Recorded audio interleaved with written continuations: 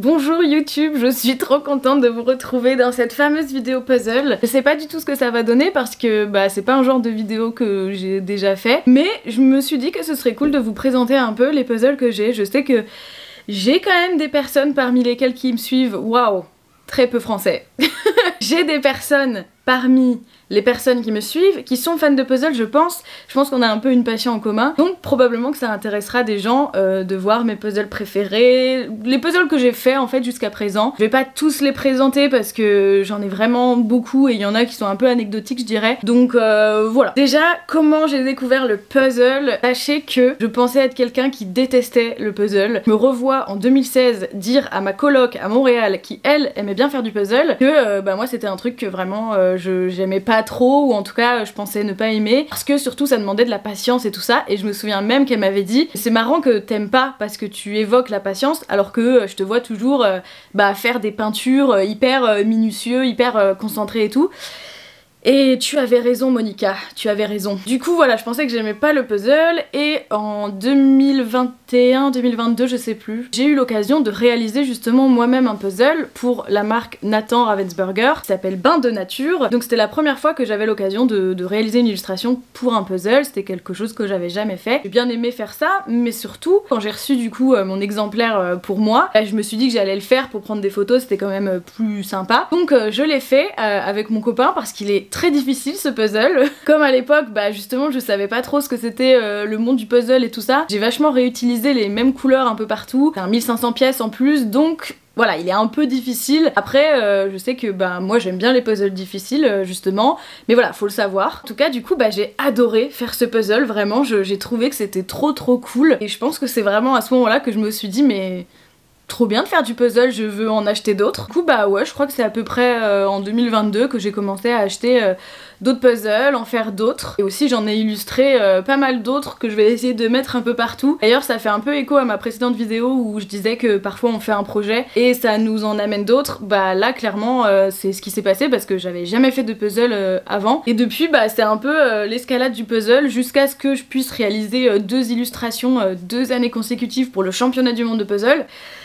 Donc c'est assez fou comme, euh, comme cheminement je trouve, mais c'est trop cool. Euh, bah du coup moi j'adore ça parce que bah comme j'adore le puzzle et j'adore en faire, bah c'est trop bien de pouvoir euh, en dessiner moi-même. Enfin je, je, trouve ça vraiment trop cool. Et donc voilà, depuis 2022, bah c'est vrai que j'ai commencé à accumuler une certaine collection de puzzles. Bon j'imagine que c'est rien par rapport à d'autres personnes, mais, euh, quand même, euh, j'en ai quelques-uns, j'ai testé quelques marques et tout ça. J'arrive à voir les marques que je préfère et, les choses que je préfère, et donc euh, je me suis dit que c'était cool de faire une vidéo où je vous présente la petite collection. Voilà, bah c'est parti je crois pas que je vais les présenter dans l'ordre que je les ai fait parce que tout simplement je m'en rappelle pas du tout. Je pense que ça va peut-être être une vidéo un peu chaotique, on va voir. Et en tout cas, le deuxième que j'ai fait quand même, parce que ça je m'en rappelle, et c'est à ce jour toujours l'un de mes préférés, c'est ce puzzle. Qui s'appelle euh, l'île du Sud, c'est euh, par la marque, enfin c'est Clin d'œil en fait, Clin d'œil c'est une boutique de créateurs à Paris, et ils font des puzzles aussi, et euh, c'est par l'illustratrice Magali Bruder, je sais pas exactement comment ça se prononce, et c'est un puzzle qui est hyper compliqué.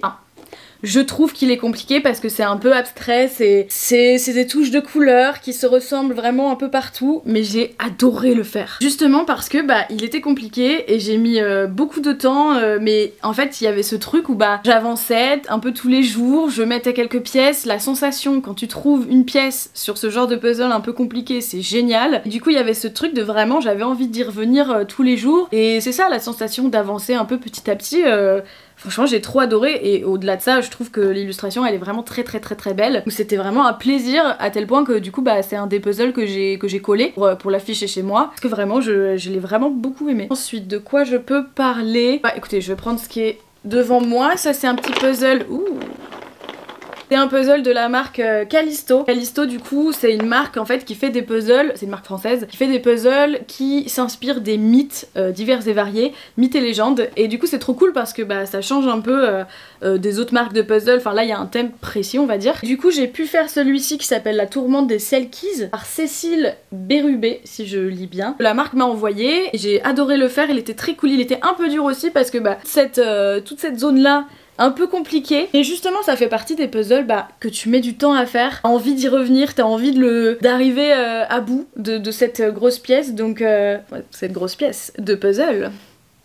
Ouais. Et ouais, non, c'est assez satisfaisant quand t'arrives enfin à à le finir. Et, euh, et, au niveau de la qualité des pièces et tout c'est très cool juste mais ça c'est ce que je reproche à beaucoup de marques de puzzle malheureusement c'est que bah, elles tiennent pas trop entre elles. Enfin moi je trouve et que du coup quand tu fais un morceau à un côté et que tu veux le déplacer c'est toujours hyper galère. Et c'est vrai que bah là c'est un peu ce qui se passe euh, pour Callisto mais après les pièces euh, elles sont de bonne qualité. Enfin c'est le seul reproche mais honnêtement c'est un reproche que je fais à la plupart des marques de puzzle malheureusement. Je sais pas si ça vient des fournisseurs ou quoi, mais... Enfin, oui, ça vient des fournisseurs, mais est-ce que tout le monde a le même fournisseur? Bref, je ne sais pas. Mais en tout cas, ça c'est le truc euh, qui moi me frustre toujours un peu. Mais sinon, très cool marque. En plus, je vais faire un puzzle avec eux tout bientôt. J'ai très hâte de le voir. Et très cool marque, ils font plein de plein d'images. Euh, enfin, je trouve qu'il y en a pour tous les goûts. C'est très très chouette. Je vous la conseille. D'ailleurs, de Callisto, j'en ai fait un autre, mais est-ce que je l'ai ramené? Mais j'en ai fait plusieurs en fait de Callisto, mais je crois pas que je les ai ramenés. Ah si, mais si, je l'ai. Il est là. Attendez.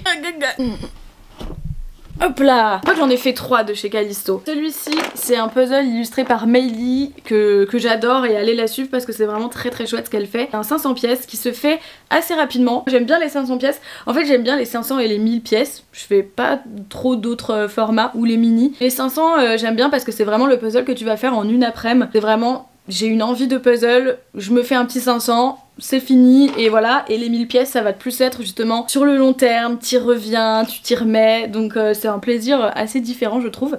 Mais j'aime bien les deux. Et donc ce puzzle il s'appelle le Liechi gardien de la forêt. Comme d'hab ça parle en fait bah, d'une légende. Et d'ailleurs tout est expliqué au dos donc c'est cool. Et il est très très chouette à faire. Il y a plein de petits détails. En plus, euh, Meili, elle a fait vraiment... Euh, euh, enfin, elle a fait en fait toute l'illustration sur Twitch. ça a pris 1000 ans.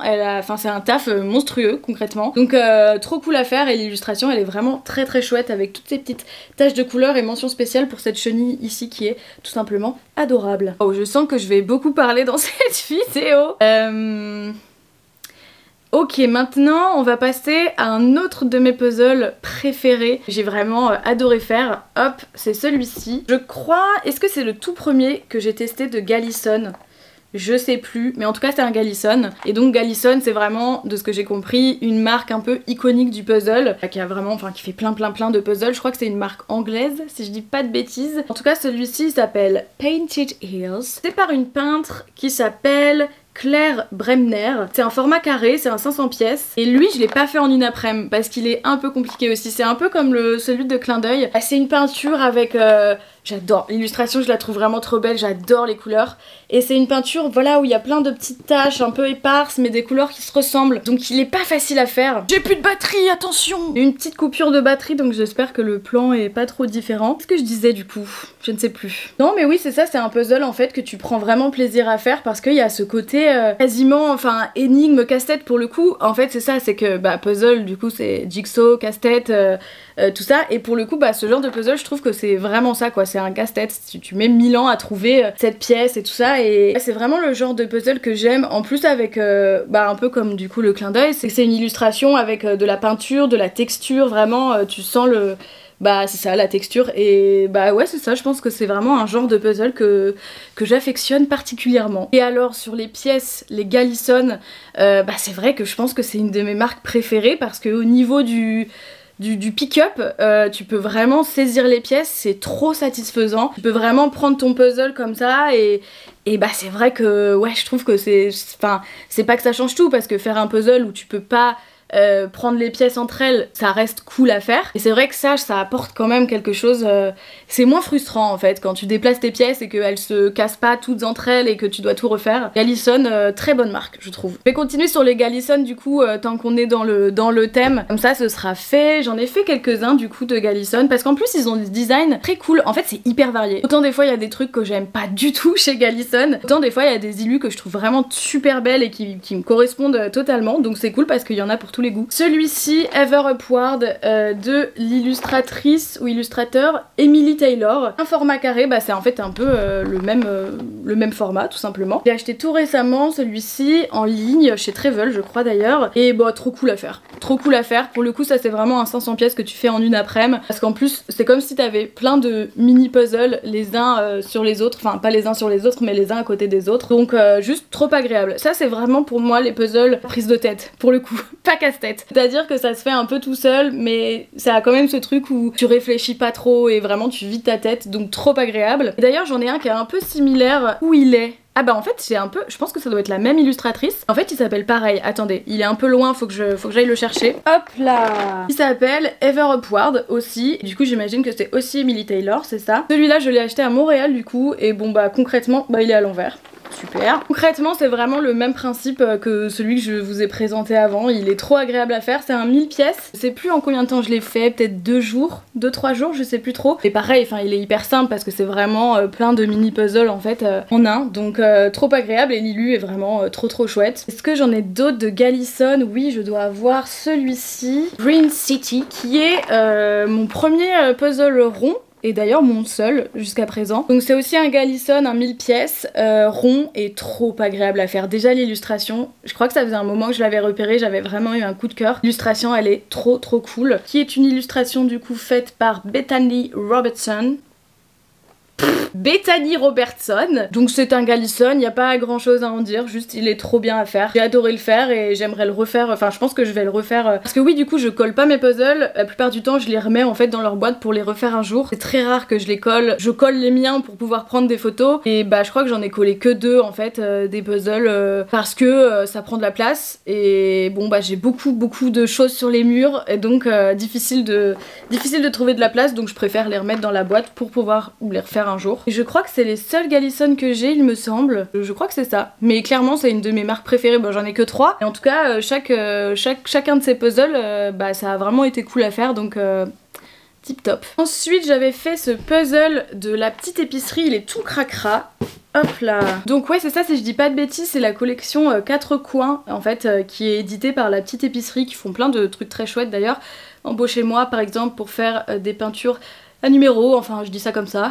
Et donc euh, c'est ça, collection 4 coins, c'est une illustration de euh, Molly... Euh... Holly Thomas, pas du tout Molly, Holly Thomas. En fait, ce que j'ai vraiment bien aimé dans ce puzzle, c'est la forme des pièces. Je vais essayer de vous montrer. C'est un 500 pièces, donc pareil, tu le fais en une après-midi, enfin, j'imagine ça dépend, mais en tout cas, moi je le fais en une après, mais euh, et c'est assez easy peasy, on va dire. Et en fait, la forme des pièces, elle est pas du tout standard. Il y a plein de petites pièces qui sont un peu, euh, je sais pas, délirantes. Il y a des pièces un peu comme ça, il y a des pièces qui sont toutes toutes petites. Je vais voir si j'essaye de les retrouver, mais c'est pas les pièces euh, basiques on va dire. Euh, euh, des puzzles euh, habituels. Donc, euh, donc ouais, j'avais trouvé ça très cool à faire. Je me souviens plus trop si on pouvait soulever les pièces entre elles et si on pouvait... Enfin, quelle était la qualité du pick-up. Pour je me souviens plus trop parce que ça fait longtemps que je l'ai fait. Mais je sais qu'il était très très cool à faire. L'illustration est très chouette, les couleurs sont hyper belles. Ouais, non, dans mon souvenir, c'était c'était un, plaisir à faire. Ensuite on passe à une marque que j'ai beaucoup pu expérimenter puisque c'est tout simplement la marque Peace and Peace pour laquelle j'ai fait 6 euh, puzzles je crois. Donc voilà, je, bah, je les ai tous faits, les miens. J'ai surtout aussi acheté des puzzles de cette marque parce qu'ils ont des illustratrices que j'adore. Donc je vais pas tous les montrer parce que j'en ai quand même pas mal. Je vais juste montrer celui-ci de l'illustrateur dans les dents que j'adore, qui n'est plus à présenter et vraiment j'aime énormément ce qu'il fait. Et du coup en puzzle c'est un plaisir parce qu'il y a plein de petits détails. Ça c'est un 500 pièces je crois ça c'est un 1000 pièces mais j'ai un 500 pièces aussi dedans les dents. Et c'est ça, c'est vraiment un plaisir.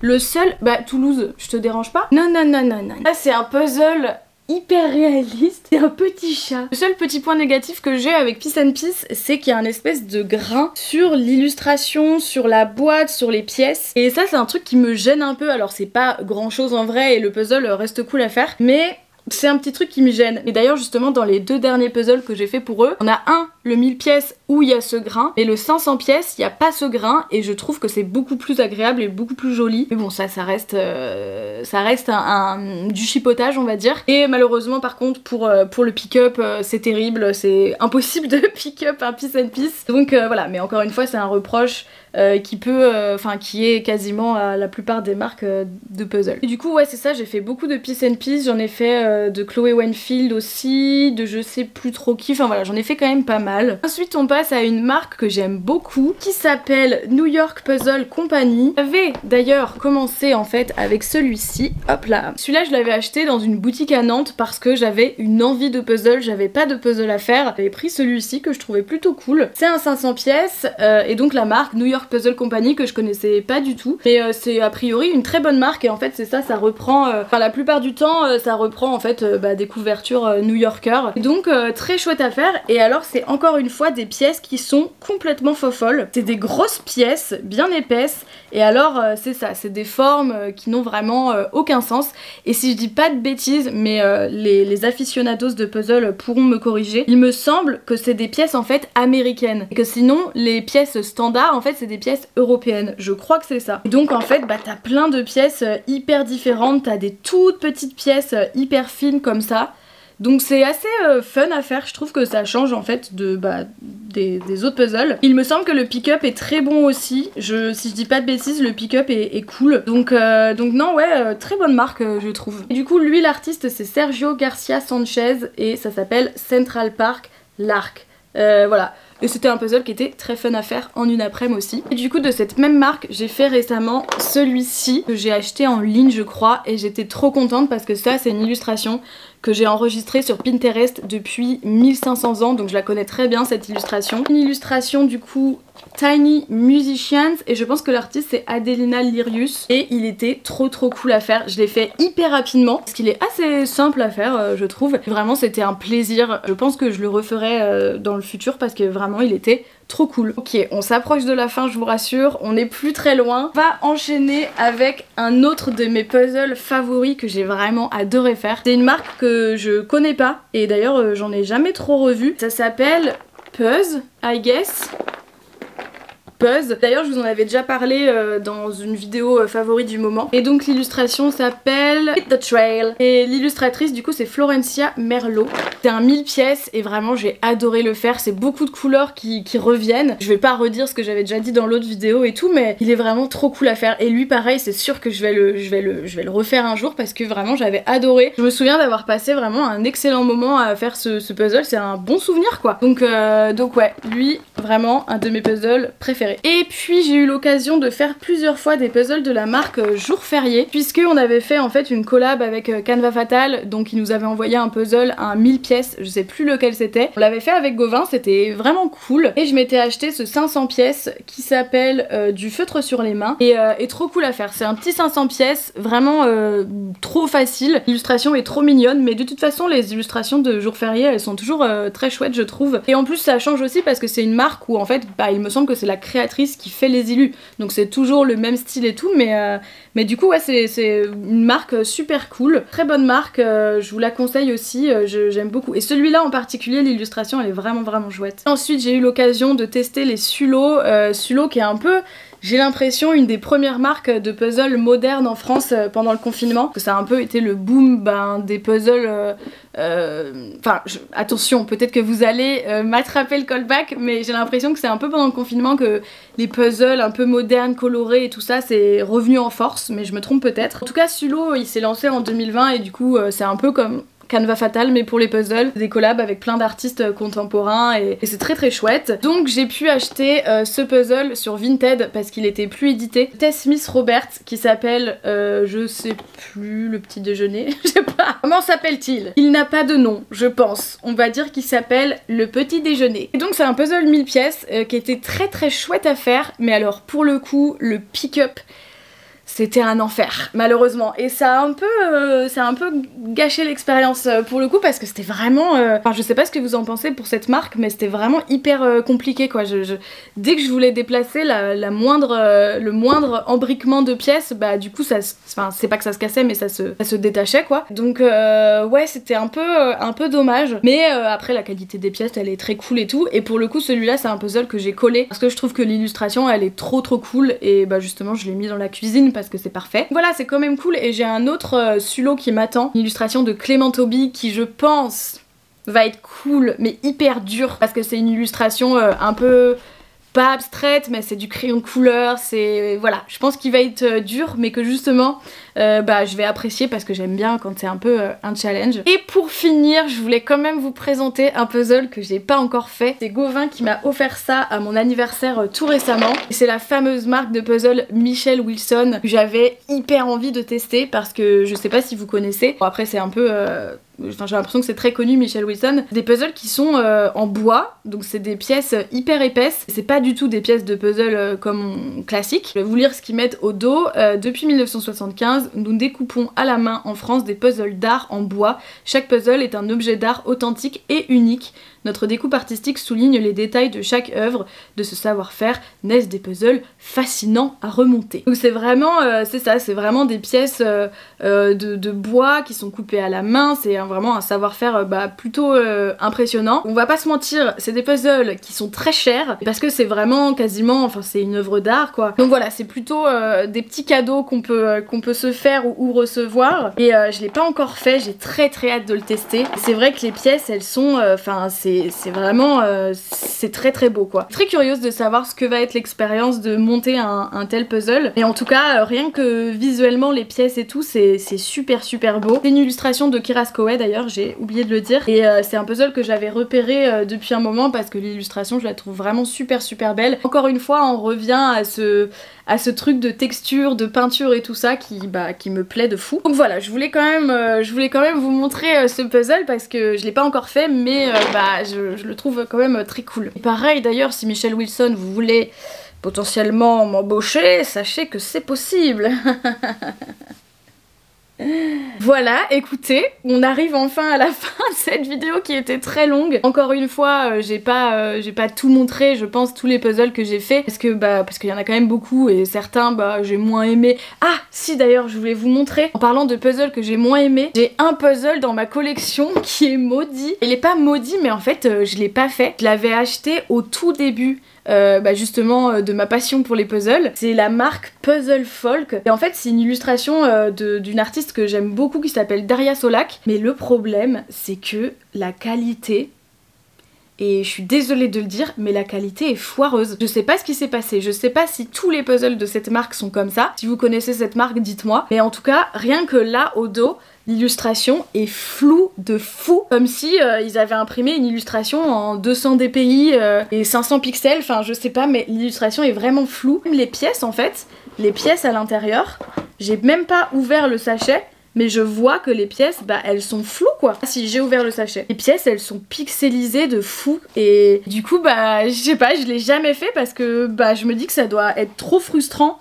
de pas avoir l'illustration en bonne qualité. Même là on a un print mais il est bah il est complètement flou quoi. C'est vraiment de mauvaise qualité euh, l'impression. Enfin je sais pas ce qui s'est passé mais euh, je trouve ça assez hallucinant de vendre un puzzle avec une telle qualité d'image. Donc euh, trop décevant et je sais pas si je vais le faire un jour ou pas. Et encore une fois, je sais pas si c'est une erreur sur ce puzzle là en particulier, si tous les puzzles de cette marque sont comme ça, bien, bien décevant. Mais c'est le seul que j'ai euh, comme ça. Voilà, écoutez, je pense que j'ai fait le tour, ma foi. Euh, j'espère que ça vous a plu, cette petite collection de puzzles. Je sais pas trop si je referai des vidéos sur des puzzles, parce qu'au final, bah que dire de plus à part cette illustration est cool et j'ai aimé faire ce puzzle. Mais écoutez, euh, ma foi, j'avais envie de faire celle-ci en tout cas, de vous montrer la petite collection. Et, euh, voilà. N'hésitez pas à me recommander euh, des marques d'ailleurs parce que c'est vrai que bah, j'aime beaucoup découvrir des nouvelles choses dans les puzzles. Là en ce moment je suis en train de faire un hibou parce que j'ai l'impression que c'est une des marques un peu super connues. C'est que des formats carrés et, et voilà, c'est de la bonne qualité aussi. Donc je suis en train de faire, euh, de faire ça.